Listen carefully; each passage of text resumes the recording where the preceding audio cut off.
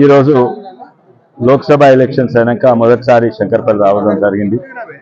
ప్రజలంతా ఎంతో సంతోషిస్తుండ్రు ఎన్నో ఏళ్ళ సంధి ముప్పై ఏళ్ళ సంధి బీజేపీ కార్యకర్తలు వాళ్ళకైతే సంతోషం అసలుకు బయటికి చెప్పుకోలేకపోతుండ్రు. కానీ ఇక్కడ ఉన్న కార్యకర్తలందరూ నాయకులందరూ బాగా కష్టపడ్డారు. అందుకే చేవెళ్ళ మంచి లీడ్ వచ్చింది చేవెళ్ళ అసెంబ్లీలో. కానీ శంకర్పల్లిలో మాత్రము పదివేల కంటే ఎక్కువ లీడ్ వచ్చింది. అన్నిట్లా హైయెస్ట్ ఈ చేవెళ్ళ అసెంబ్లీ మండలాల్లో శంకర్పల్లి హైయెస్ట్ లీడ్ వచ్చింది. చాలా మంది శంకర్పల్లిలో బీజేపీ వీక్. కానీ బీజేపీ రాజకీయాల వీక్ ప్రజలల్లా ప్రజలలో అయితే నిజంగానే ఉన్నది. మళ్ళీ మోడీ రావాలని ఎంతోమంది సంకల్పం తీసుకుండ్రు. అండ్ బయటకు వచ్చి ఓటేసిండ్రు. ఇంతకుముందు చాలామంది బీజేపీ అభిమానులైనా బయటకు వచ్చి ఓటేసేటోళ్ళు కాదు. వారి చదువుకున్నోళ్ళు పేదోళ్ళు ఇల్లు లేనోళ్ళు వీళ్ళందరూ కూడా ఎంతోమంది వేలాది మంది బయటికి ఓటేసినందుకు ఈరోజు ఈ గెలుపు సాధ్యమైంది. కానీ నేను అనుకుంటున్నా ఎన్నోసార్లు ఎంతోమంది ఎంపీలైనా గెలుస్తారు. ఓ ఐదు వేలో పదివేలో పన్నెండు వేలతో గెలుస్తారు. కానీ అది నిజమైన గెలుపు కాదు. ఎందుకంటే ముప్పై లక్షల ఓట్లున్న ప్రాంతంలో ఐదు పది వేలతోటి గెలుపు అది నిజమైన గెలుపు కాదు. కానీ నేను అనుకుంటున్నా ప్రజలందరూ నిర్ణయం తీసుకొని లక్ష డెబ్బై మూడు వేలతోటి ఎంపీని బీజేపీ ఎంపీని గెలిపించినందుకు నాకు చాలా సంతోషం. అంటే ప్రజలలో స్పష్టత ఉంది.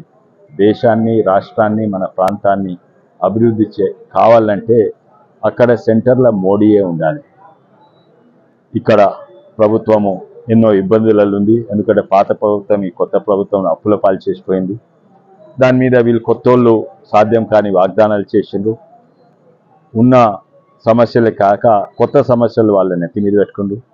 ఇటువంటి పరిస్థితుల కేంద్రంలో మోడీ ఉండు చాలా దేశానికి మన ప్రాంతానికి చాలా అవసరం.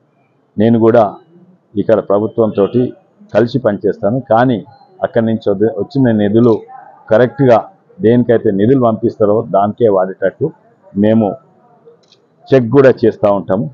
అదిగిట్టయితే అదిగిట్టయితే తప్పనిసరి ఈ ప్రాంతం మంచిగా అభివృద్ధి అవుతుంది. ఉదాహరణకి ఇక్కడికి ఎంపీటీసీ ఎంఎంటీ టీసీ ట్రైన్ ఇక్కడికి వికారాబాద్ తీసుకొస్తానికి ప్రయత్నం చేస్తున్నాం. తప్పనిసరిగా నేను గట్టిగా ప్రయత్నం చేస్తే వస్తుందనే నమ్మకం కూడా ఉంది. కానీ ఇక్కడ రాష్ట్ర పాత్ర వాళ్ళు రాష్ట్ర వాటా వాళ్ళు ఇవ్వాలి అది కూడా మేము ఒత్తిపెడతాం ఇటువంటి ఎన్నో ఉన్నాయి. కేంద్రము రాష్ట్రము కలిసి చేస్తే అభివృద్ధి మంచిగా అవుతుంది. రాబోయే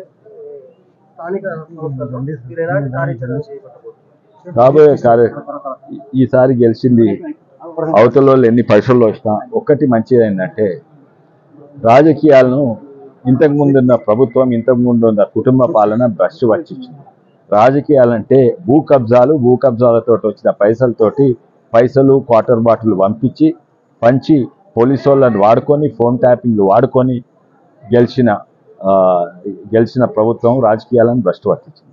చాలా సంతోషము. ఈసారి పైసల ప్రభావం మన క్వార్టర్ బాటిల్ ప్రభావం తక్కువ అవుతున్నా వస్తున్నది.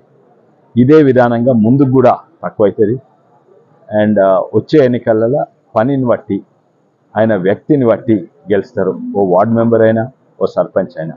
పని చానున్నది దాదాపు ప్రతి గ్రామంలో ఓ యాభై నుంచి వంద మందికి వంద మందికి పెన్షన్ లేవు వైట్ కార్డు లేవు ఇండ్లు మంచి లేవు. ఇవన్నీ కూడా గ్రామ గ్రామానికి పోయి ఎవరెవరికి వైట్ కార్డు లేవో పెన్షన్ లేవో ఆ లిస్ట్ తీసుకోవాలి. వాళ్ళతో అప్లికేషన్ పెట్టియాలి.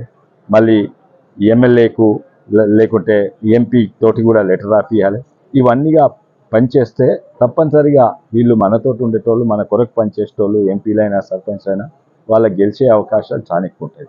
అట్లా ప్రజలతో ఉండి పనిచేయమని నా నేను అందరికి చెప్తున్నాను.